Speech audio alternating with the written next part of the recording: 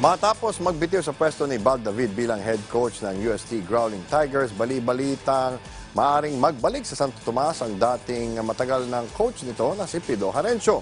Pero ano naman kaya ang salubin, salubin ni Harencio ukol dito? Araw lamang simula nang i-anunsyo ni Coach Bal David ang kanyang paglisan sa University of Santo Tomas, agara namang umugong ang pangalan ni Pido Harencio bilang potensyal na kapalit nito.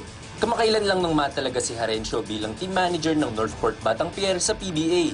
Kaya naman ngayon ay malaya na siyang tumanggap ng responsibilidad bilang head mentor ng isang collegiate team. Sa panayam ng PTV Sports kay Harencio, nilinaw nito na sa ngayon ay wala pa siyang natatanggap na offer mula sa Santo Tomas.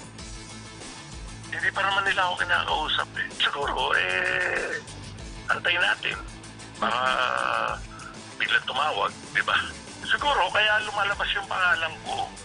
Unang-una, hindi na ako head coach sa PBA. Team manager ako. Ngayon, ang team manager is allowed to coach a college school kasi walang conflict.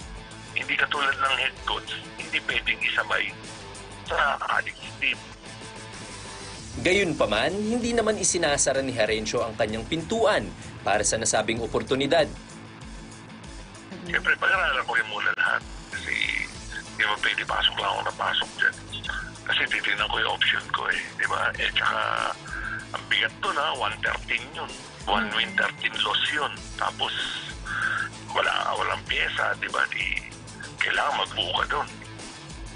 Magugunit ang nagsilbing head coach ng UST Men's Basketball Team si Harencio mula taong 2006 hanggang 2013. Bukod pa riyan, si Harencio rin ang huling head coach na nakapagdala ng corona sa Espanya.